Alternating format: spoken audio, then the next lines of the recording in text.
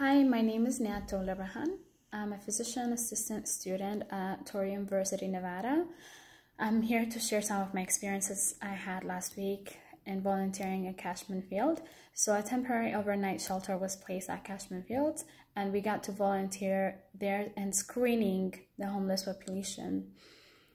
Um, we were given proper medical equipment, including a N95 mask, surgical gowns, and gloves, and what we were doing was we were asking them questions and also uh, measuring their temperature for any symptoms.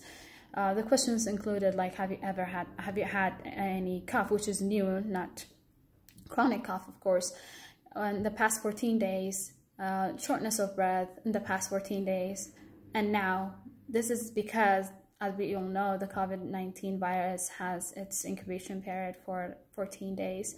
So this would minimize the risk of infection for whoever is being sheltered there overnight and they're not putting themselves at greater risk of infection because it is obviously a crowded place. Um, what I really appreciated was the homeless population are very grateful and appreciating of whatever you do to help, and that was a huge lesson in my part that I got. Thank you.